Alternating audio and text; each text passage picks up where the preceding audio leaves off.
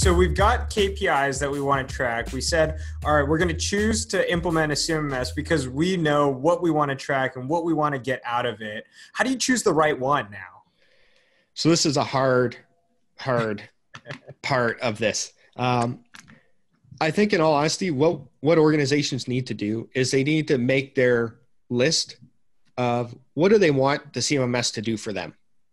Once they have that list of everything they want the CMMS to do, they got to go through and define what are must-haves, what are nice to haves, right? And really figure out which one is going to work for them the most.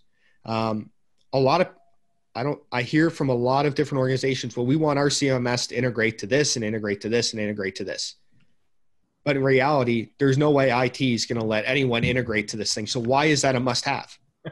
yeah. Yeah. So I think the big thing is really just one part understand our must haves or nice to haves. The other big thing is to me, how user friendly is it? Um, we want our frontline techs to use this. If they if it's command based, like old MS DOS for anyone who remembers that, um, getting them to do that is not always going to be easy. So, what's the user interface? Is it easy to use? Um, is it mobile?